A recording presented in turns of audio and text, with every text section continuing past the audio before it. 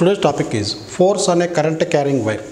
Here there is a magnetic field inclined at an angle theta with the x-axis and the current carrying wire is placed here. It is connected to a battery. So I am not showing the battery here but the current is entering here. So this is the direction of current. Whenever current is flowing through a wire from this end to this end, we know that uh, the drift velocity of the charged particle inside this one is given by Vd is equal to I by NEA. So this is the drift velocity of the electrons that are drifting inside this one due to the applied electric field. We know that if current is flowing from left to right, the electrons will move from right to left, that is opposite to this one. That means the motion of these electrons is opposite to the direction of motion of the current. Now, if I want to find out the magnetic field, magnetic force experienced by a small portion of this uh, current carrying conductor, let us say it has some electrons. So in this, uh, first let me find out what is the force experienced by this free electron which is drifting opposite to the current. So we can write dF as we know that force experienced by a charged particle in a magnetic field is given by F is equal to BQV. Here I am going to write dF is equal to charge of electron E into velocity V bar cross B bar. So this is the small force experienced by a single electron in this region. Now I am going to take a region here whose length is, let me take it as dl, let the length of this conductor is L,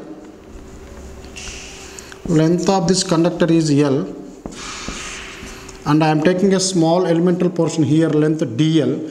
So in that uh, the free electron density of this uh, conductor where n is equal to free electron density. So in this uh, how many number of electrons are available in this portion? The number of electrons per unit volume, this is a number of electrons per unit volume, we call it as free electron density is equal to small n. So what are the total number of electrons that are drifting in this direction? So total number of electrons in uh, the cross sectional area of this conductor let us say a length is L. In uh, A into dl volume is so in this I am going to write the number of electrons will be free electron density. These are the number of electrons per unit volume into volume of this conductor A into dl so these are the number of electrons in this given volume. So what is the total force experienced by these electrons in this volume? So this I am going to write.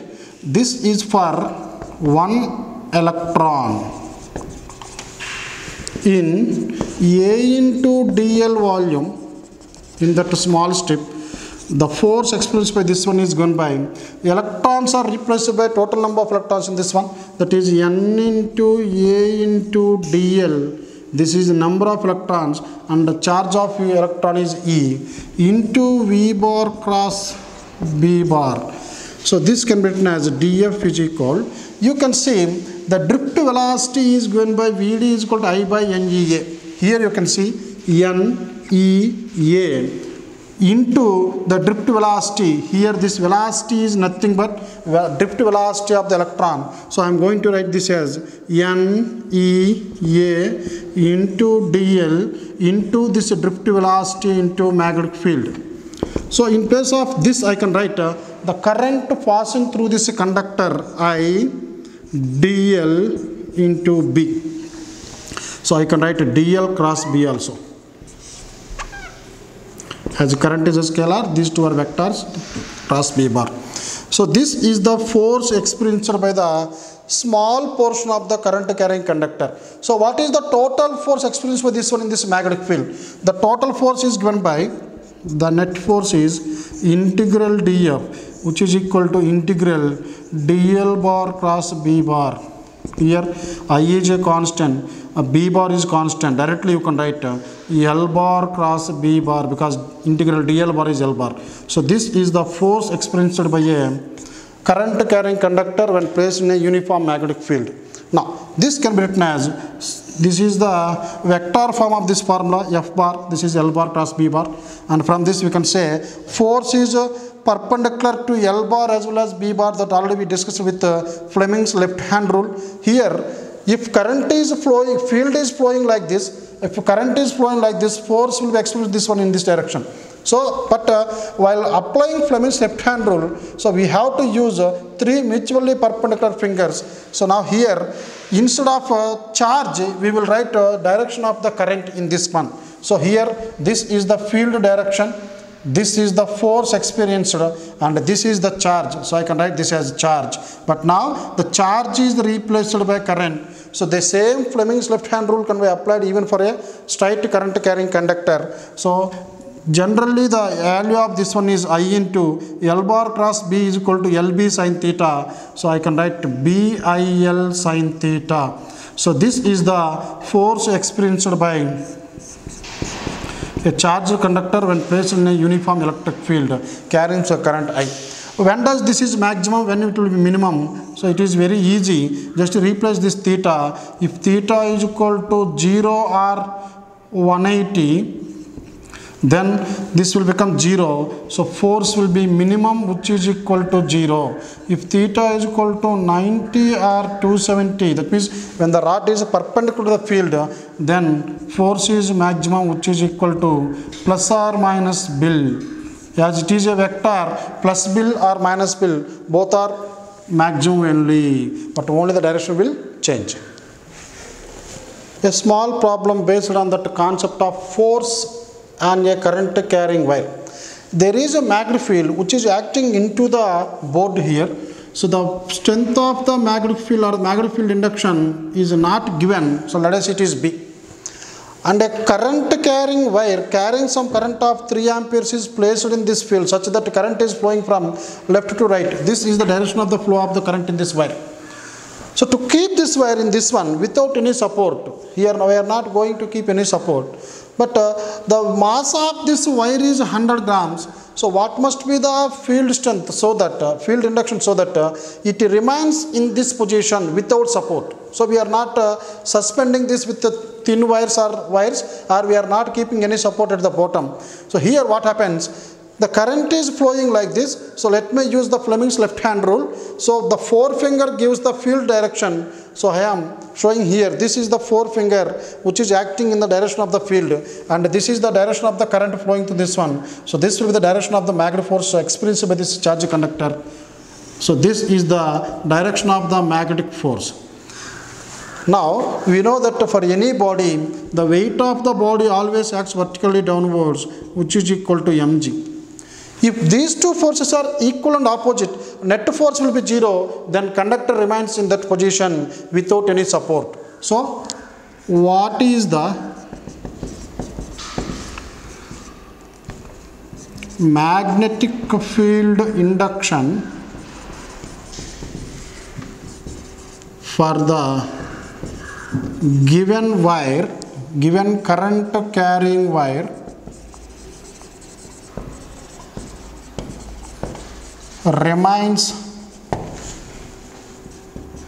in that position in that shown position without a support. So this is the question. So here what we can write if the upward force will downward force net force will be zero when net force is zero axial will be zero as it is initially at rest it remains at rest only. So the force acting in the upward direction must be equal to force acting in the downward direction so what is the force experienced by this conductor in the upward direction? So F magnetic. This must be equal to weight of the body which is acting downwards. But what is the force experienced by current carrying conductor? This is given by BIL sine theta which is equal to mg.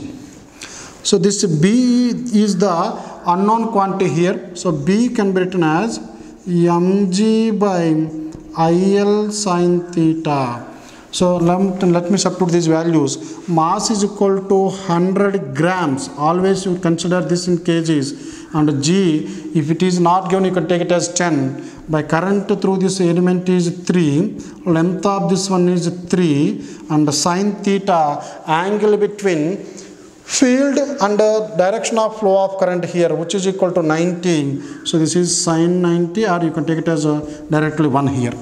Now you can write 0 0 0 so this will become 1 by 3 3s are 9 so the magnetic field strength must be 1 by 9 tesla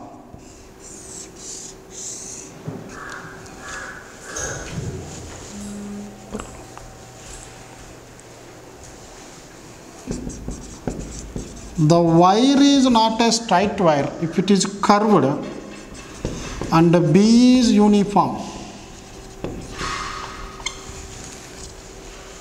In this case, let us say this is a magnetic field which is uniform and acting into the board and equidistant from each other. All these field lines are equidistant from each other. So in this, uh, I am going to keep one curved wire like this.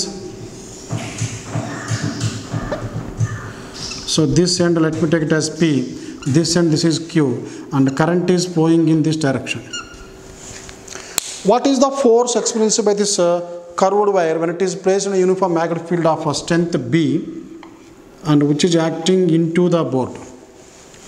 Now, here what we need to do, let me find out magnetic field due to a straight element here. Let me take a small straight element which is equal to dl1. What is the magnetic force experienced by this small portion first? So, df1 is given by, we know I into the length of that element into magnetic field that is dl bar cross b bar.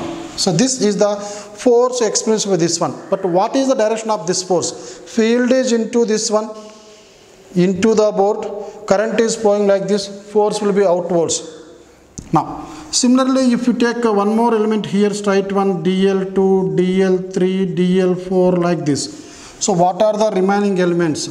The second element is I into, this is dl1, this is dl2 bar cross b bar, df3 will be I into dl3 bar cross b bar and so on. The last element is dln which is equal to I into dl bar n cross b bar. Now, if you add all these elements, you will get uh, df1, df2, df3 and so on. So finally you will get uh, the net magnetic field which is equal to f bar. Here I is common and uh, b cross is also common. We can write uh, dl1 plus dl2 plus dl3 and plus so on dln cross b. But what is this dl1, dl2, dl3, dl4? These are all small elemental vectors, displacement vectors or we can say. So if you add this, uh, finally you will get this one only. Because sum of all these by using that uh, polygon law of vector addition, if these are the small small elements, then the final length is given by this one only. So this is the final length of this uh, conductor. So I am going to write this as F experienced by this curved wire is equal to I into sum of all these will be equal to the distance between P and Q. The minimum distance or displacement vector that is joining this uh, P and Q. I am going to write this as DL. So this is DL cross B where DL is the perpendicular distance between the two ends of this curved wire. Now, so this is how you can directly use, no need to integrate this one. Whenever field is uniform, you can use this formula. Suppose in the same case, let us say field is outwards.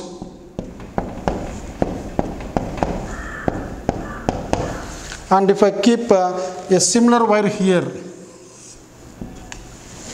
and these are the two points here, P and Q, P and Q, same wire, just the field is different here, so it is kept like this, a similar wire. Here also this will experience a force.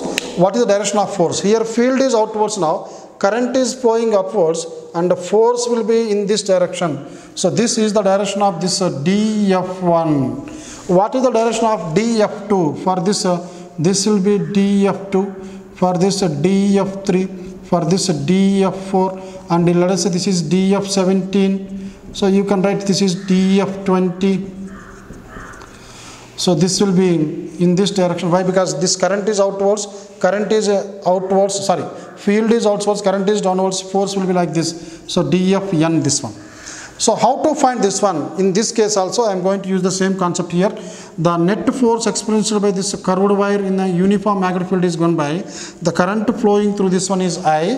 The minimum distance are just to join the initial and final points of this wire directly with a straight line.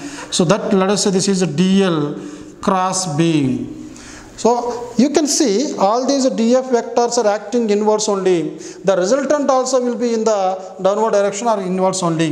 Now even if you take this conductor, let us it is carrying some current. Now field is this direction, field is outwards, current is flowing in this direction, force will be downwards. That means the net force, this force F curved will be acting in this downward direction. Because uh, here most of these uh, elements uh, may be equal and opposite. They may cancel with each other and only these vectors will be added up.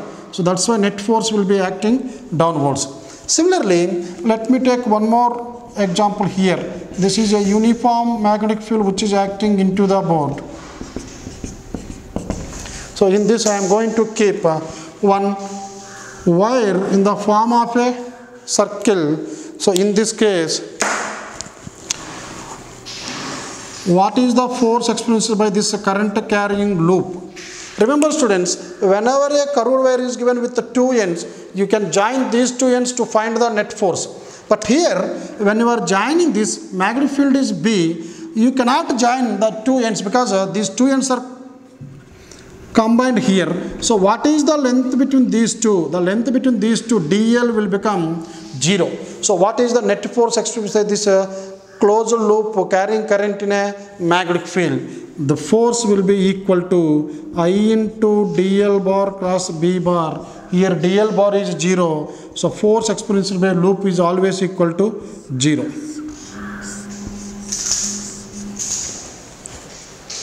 Suppose if you don't want to apply this one because uh, uh, we cannot join the two ends that's why the length between the two ends will be 0 so I am waiting f is equal to 0.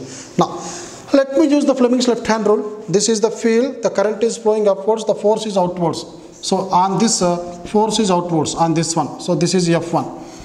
Here field is inwards, current is like this, force is outwards. This is force is outwards. Here field is inwards, current is flowing down, this is force is outwards.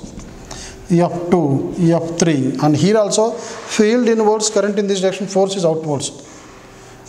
This is F4. This and this are having equal lengths but carrying current in the opposite direction. So F1 is equal to F3 but in the opposite direction. Net force due to this one will be 0. These two will be 0.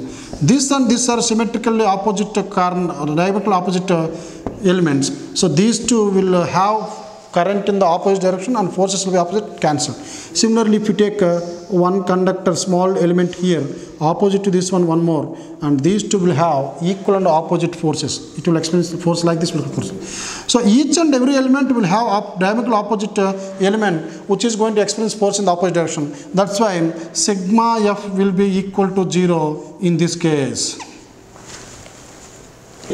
force between two point charges q1 and q2 when they are moving parallel to each other. So i am going to take q1 in one wire. This is the first wire. So the charge flowing through this one is q1 and this is the second wire which is parallel to this one and the charge through this one is q2 now what is the force between these two? Whether these two wires carrying these uh, charges, whether they attract with each other or they were repulsed with each other. First of all, let me find out the magnetic field on this uh, conductor due to this charge. We know that these are positive charges when they are not mentioned always consider them as positive charges. Positive charges going through this wire in the upward direction. So when the charge is flowing in this direction by using ampere right hand thumb rule here magnetic field is inwards but here on this wire field is outwards. So the magnetic field due to this charge here is outwards. So the field is outwards. That field is due to this uh, second charge that I am denoting with B2 here. Magnetic field due to the second charge on the first wire. So what is this B2 here? So for this I am going to apply um, this Biot-Savart law from Biot-Savart law dB is given by mu naught I dl sine theta by 4 pi into r square. This is the dB value. Here, what is dB? That is a magnetic field on this one small element due to a small element here.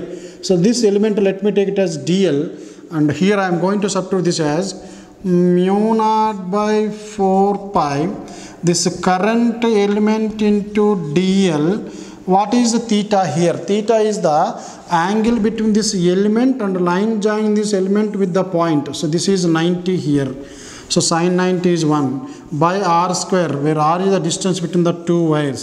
So i am going to denote this is the r only. Here what we can write?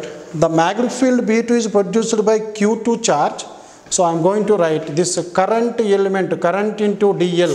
So i am going to write current into dl is going by current is equal to dq by dt the rate of flow of charge into dl.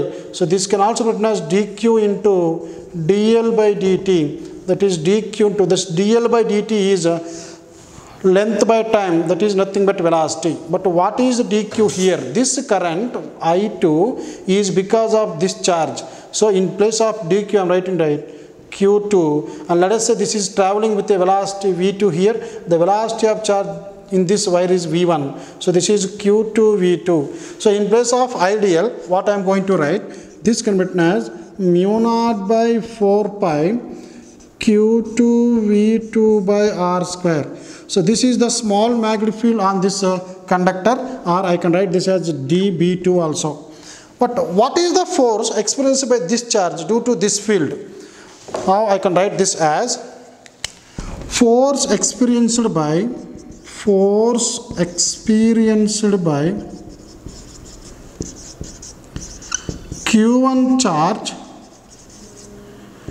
due to B2 field. So this is integral D, this dB2. If you integrate this one, you will get to the entire values. I am going to write this is a B2 only, the magnetic field acting on this one. Now we can write the force experienced is given by F is equal to BQV. So force experienced by first charge, Q1 charge, due to this magnetic field is given by F is equal to BQV. That is Q1 V1 into B2. Don't confuse here. This is the charge passing through this one with velocity V1 under the influence of B2 field due to that Q2 charge. So this force is given by Q1 V1. B2 is mu naught by 4 pi Q2 V2 by R square. Here actually I got I dl as dQV. If you integrate this one dq will become q that is q2 v2 so that's why i'm writing directly b2 here not db2 so this is the force. So what is the force between these two? Force between these two is given by that is force experienced the first wire is given by mu naught by 4 pi is constant. The remaining terms q1 q2 into v1 v2 by r square this is the expression but what is the direction of this uh, force here so now let me use this Fleming's left hand rule once again. Here field is outwards, charge is uh, field is outwards here towards this direction and the charge is going upwards. The force will be in this direction. So the first wire will have will experience a force in this direction. That means this wire will be attracted by this one. So F1 is a attractive force. Similarly, what is the force experienced by second wire or second charge due to this uh, first charge? So this is given by mu naught by 4 pi. Same thing in place of 1 you write 2 and 2 in place of 1 you will get the same expression q2 q1 into v2 v1 by r square. So this is the force. And here this charge which is acting flowing in this direction will produce a field in this direction. So here b1 is inverse. So now let me use a fleming's left hand rule. Field is inverse the charge is going up the force will be in this direction. So this is f2 which is also attractive force because it is attracting towards this wire. So both f1 and f2 are acting in the, towards each other. So both f1 and f2 are attractive forces. If one of the charge is reversed, let us say instead of Q2 going up, let us say it is going down, then these two wires will repel with each other with the same magnitude of force.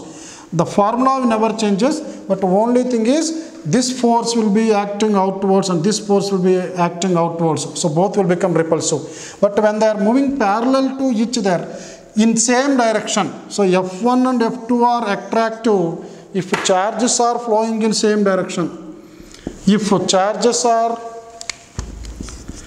if charges moving in same direction if the direction of one of the charge changes then f1 and f2 are repulsive forces.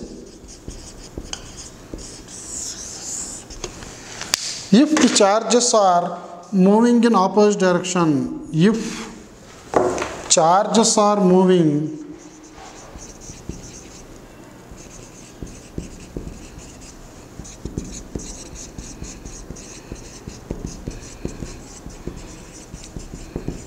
direction between two long straight parallel infinite current carrying wires. So these are the two infinite current carrying wires separated by some distance r they are parallel to each other. That means everywhere the distance between these two wires remains as r only. Now if it is carrying current in this direction according to ampere's right hand thumb rule if it is the current the field here will be inverse so the field acting on this wire will be inverse which is i am denoting this as b1 Similarly, due to this current here field in this on this conductor will be outwards. The field on this conductor is outwards. That is due to the second wire or second conductor or second coil, second uh, current. So B2. So what is the force experienced by this current carrying conductor due to this magnetic field? Now, what is B2 here? B2 is given by mu naught I2 by 2 pi R. So this is the magnetic field due to this current on this wire at a distance r from it mu naught I2 by 2 pi r. Now what is the force experienced by first current carrying conductor F is equal to BIL but B is due to second wire current in this wire is 1 and the length of this conductor is L but as L is infinitely long so I am going to take uh, for unit length for this length so for this length what is the force experienced by this wire so this is F1 is the force experienced by the first conductor for u length L due to the magnetic field produced by the second wire. So I am going to write F1 is equal this B1 already here B, B2 we got it. So mu naught I2 by 2 pi r I1 into L. So F1 is equal mu naught by 2 pi I1 I2 L by R. So what is the force experienced by unit length? This L, if right here, this is total force per total length, you will get force per unit length, which is given by mu naught I1 I2 by 2 pi r. So this is the expression for force per unit length.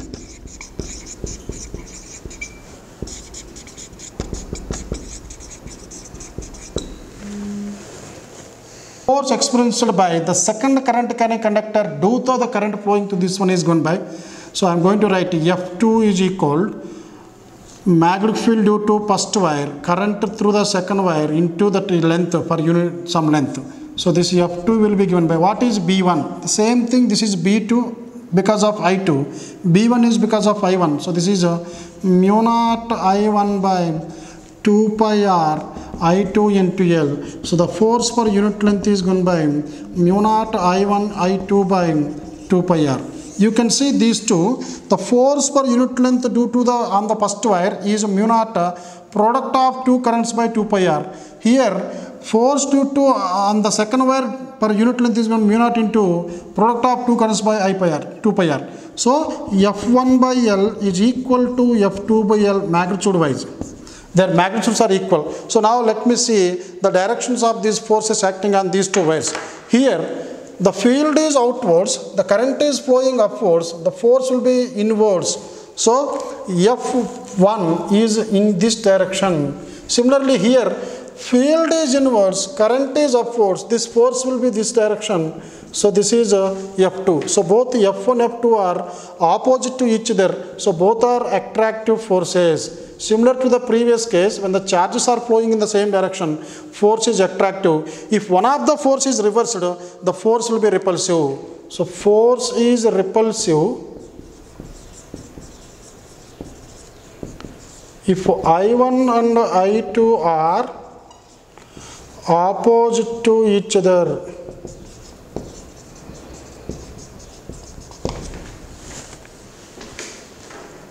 yes. Here, by using this expression, we can define 1 ampere, that is a SI unit of current. You can see if I1 is equal to I2, if the current flowing through these two wires is same, I1 is equal to I2 and they are separated by 1 meter distance in air, the medium between these two is air, then if they attract with each other with a force of something, then current can be defined. Let us say if they are repelling with each other, these two will repel if the current is flowing in the opposite direction. Because repulsion is the sure test of electrification. That's why I am going to define current by using repulsive force between these two. So if F1 is equal to I1 is equal to I2 and uh, flowing in opposite direction separated by 1 meter distance in air then what is the repulsive force between these two? If the repulsive force per unit length is equal to 2 into 10 power minus 7 newton per meter then each current is said to be 1 ampere. So but how to prove it? To prove this one what i am going to write If two current carrying conductors of infinite length carrying some current uh, equal current I1 I2 separated by 1 meter distance in air repels with a force of 2 in 10 power minus 7 per unit length then each current is said to be 1 ampere. So I am going to use this formula. The force per unit length is equal to 2 into 10 power minus 7 Newton per meter and the distance between these two is 1 meter. Now I am substituting these values in this equation. So 2 into 10 power minus 7 is equal to mu naught into I into I because I1 is equal to I2 so I am going to replace this with I by 2 pi into 1. So this will become 2 into 10 power minus 7 is equal mu naught is equal to 4 pi into 10 power minus 7. This is I square by 2 pi this 2 pi 2 pi get cancelled.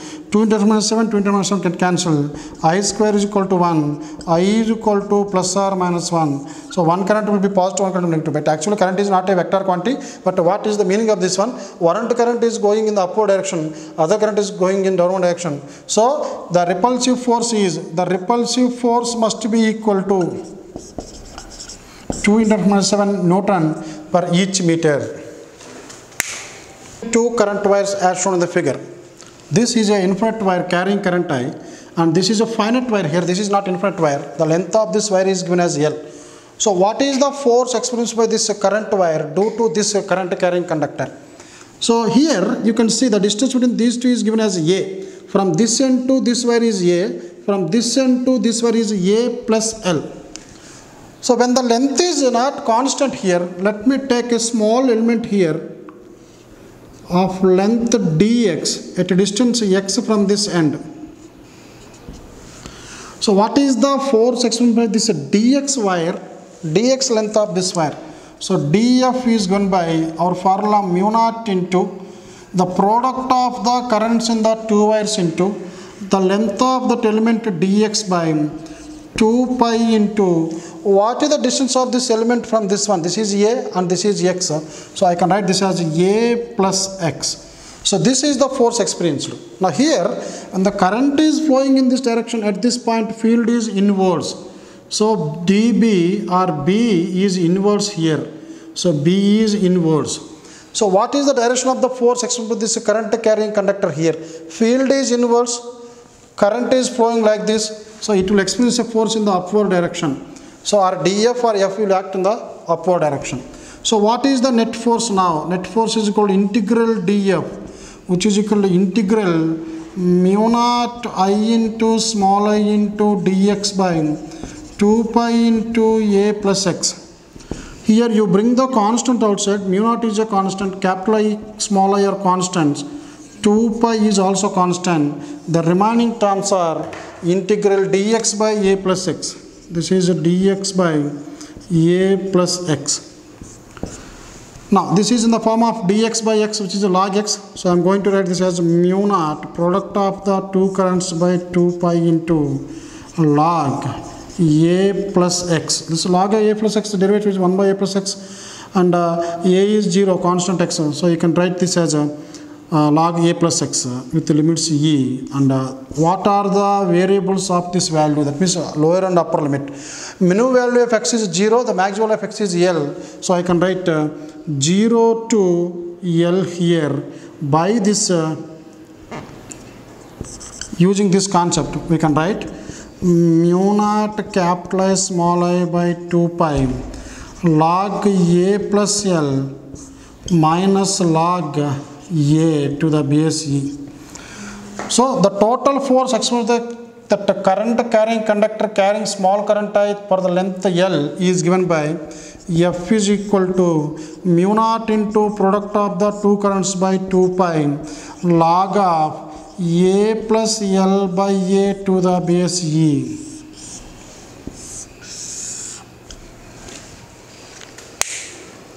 When a current carrying loop is placed in a uniform magnetic field here, this is a uniform magnetic field here.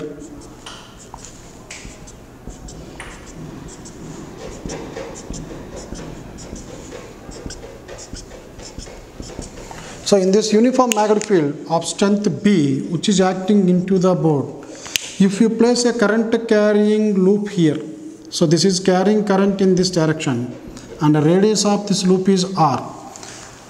Now, here, what is the radius of this one is R, what is the area of this one? Area of the loop is equal to pi R square. Here, what we can write? When a current carrying loop is placed in an uniform magnetic field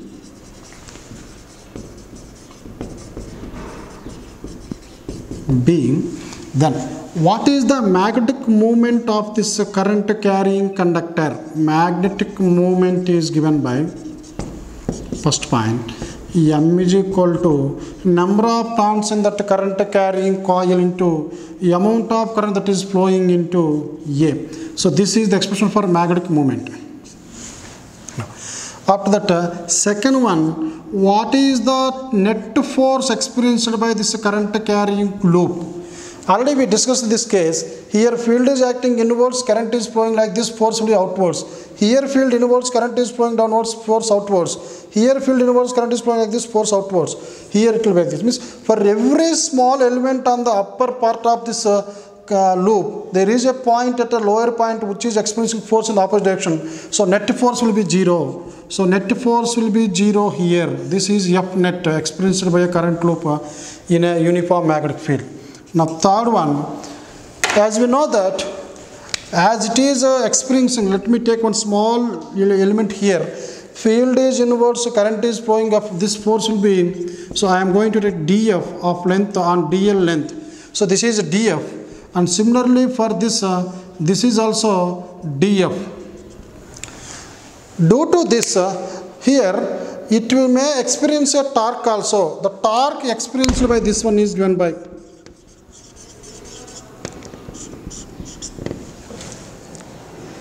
in this case torque is given by one of the force acting into that is df into the perpendicular distance between the two forces. You can see while defining the torque torque is nothing but uh, two equal opposite parallel non-collinear forces produces torque. But in this case you can observe these two forces are acting along the same line. So the torque produced in this case will become zero. But uh, remember students for the same current carrying loop which is placed in a uniform magnetic field instead of the field is acting inwards let us say the field is acting along x-axis. So this is another case here. If the field is acting like this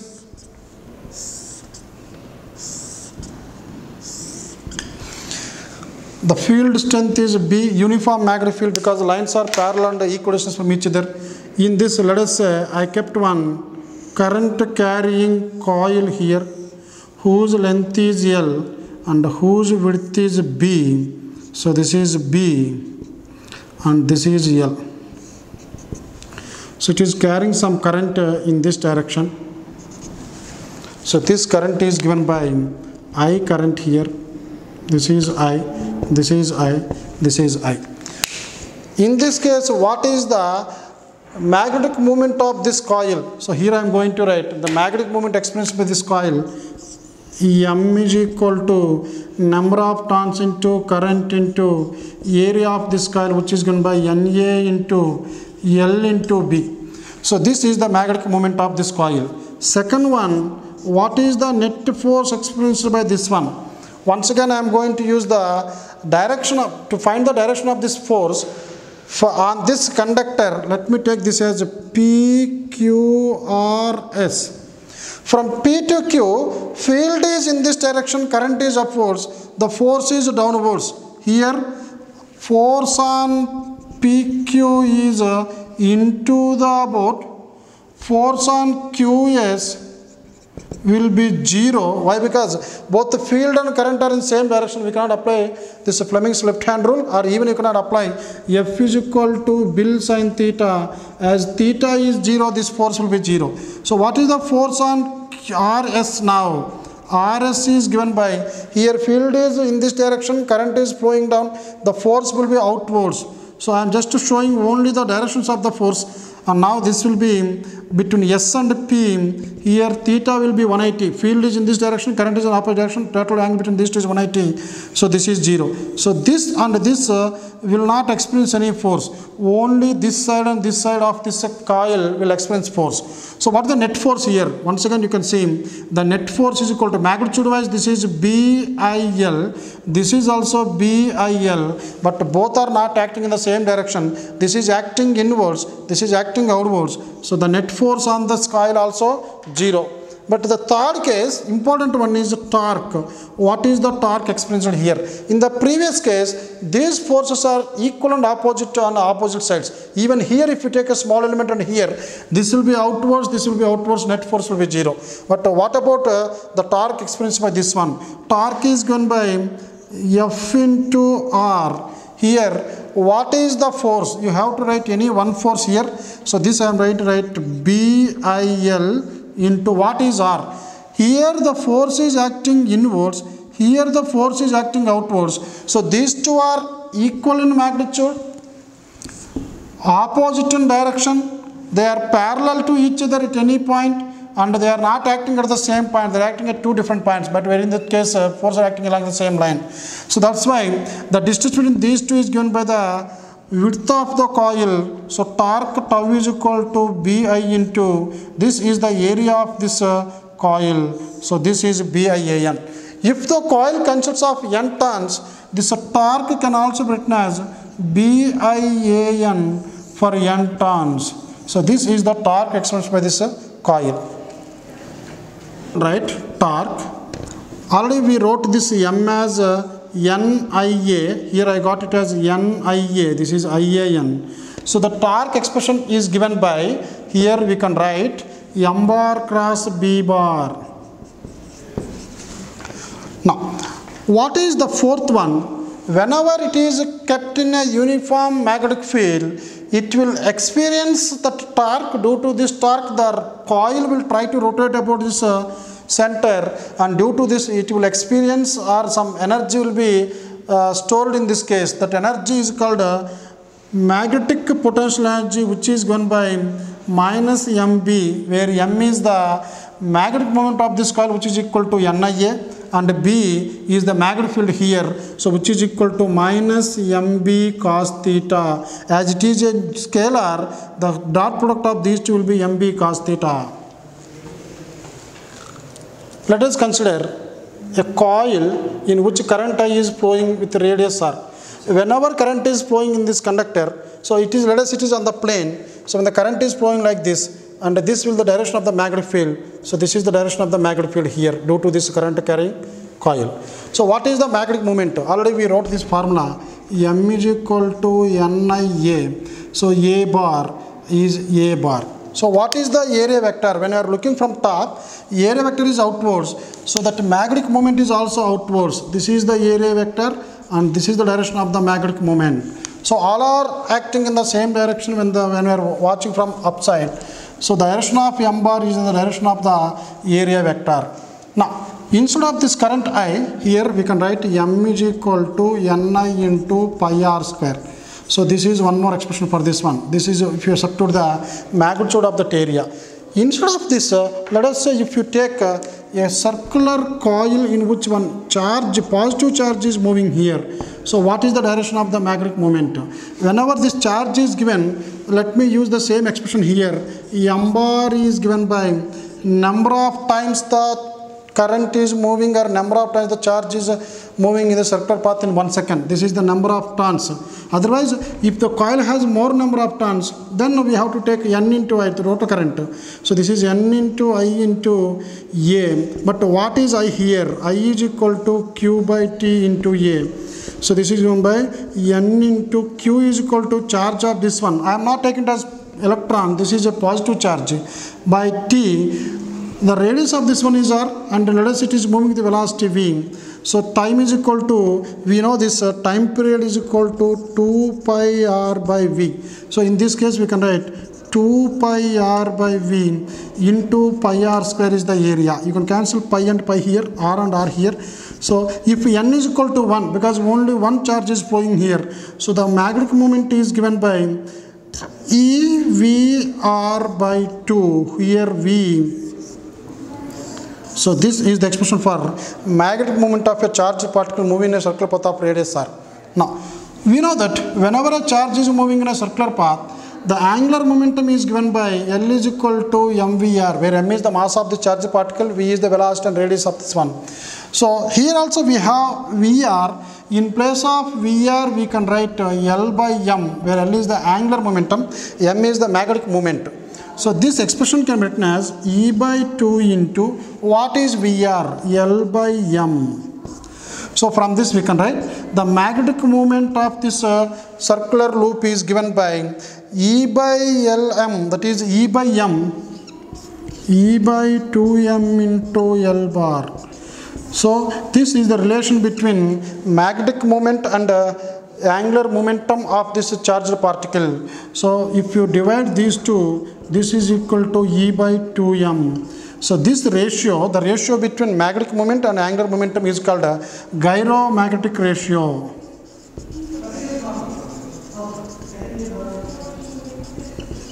You can see this. This m by L does not depend upon the velocity or radius. It only depends upon the charged particle and uh, mass of this particle. So what is the gyromagnetic ratio in case of an electron? For an electron,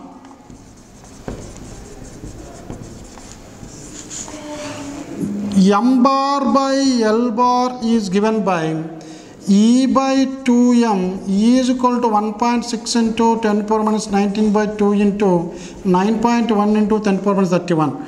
So m by L is equal to this 1.6 by this is uh, 18.2 into 10 power 31 minus 19 this will become 10 power 12. So this value will be 1.6 by 1.82 into 10 when it goes up 10 power 11. So this is around 9 into 10 power 11 or 9 into 10 power 10. So what is the unit of this one? The magnetic moment is generally measured in number of turns is a number. This is ampere meter square. So this value will be current is measured in ampere. This is area meter square and dimensional formula ampere into L square. This is the SI unit and dimensional formula for magnetic moment. Magnetic moment.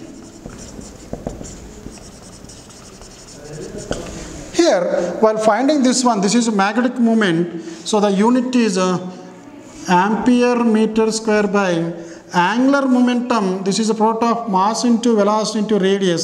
So this is kg into meter per second by meter. kg into meter per second into meter.